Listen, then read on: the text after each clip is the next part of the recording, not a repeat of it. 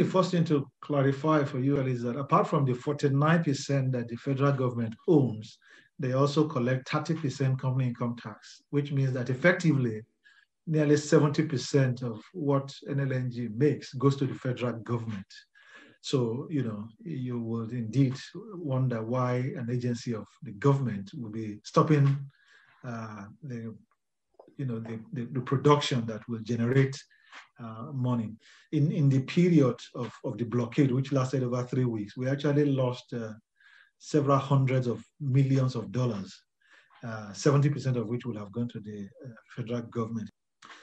But, you know, what was really happening was, was two things.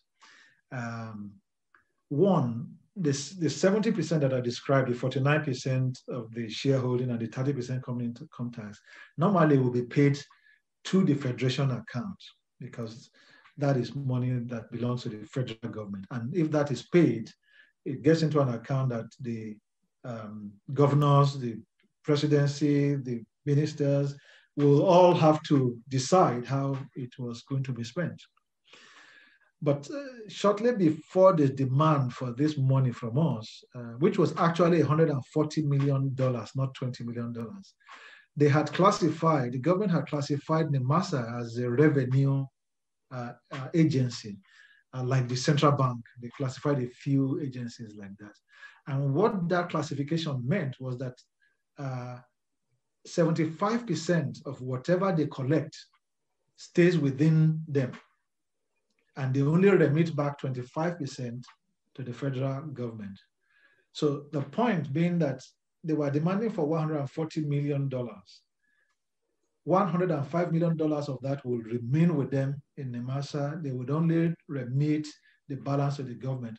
Unlike if we had remitted the whole 140 million to the government, it will go into this account that everybody will see. So it's the ability to retain this $105 million in their uh, account for them to use uh, was what drove this whole uh, blockade. So they were prepared to starve the federation of money because they wanted to collect money. And I think, as we all have seen, after uh, you know several court cases, uh, I mean, of course, we, we went to court after we paid that protest, the whole 140 million dollars. Judgment was given after about, uh, I think, after about four years. Judgment was given in our favor for them not only to refund the $140 million, but to pay us about $300 million that we lost. Uh, they've subsequently appealed, and, and so it's going through uh, still in court cases, but the court determined clearly that what they did was wrong.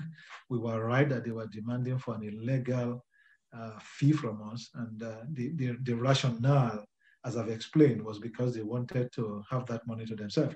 And as other court cases have shown, many officials of NIMASA have today been convicted uh, of stealing billions of, of naira and have been, some of them have been sentenced to, to jail terms as well. So I think that was the, what was playing out. Uh, most people were, were not able to see through the, the charade and, and thought that it was money that should have gone to the federation account. No, 75% of the money was being retained inside NIMASA for their own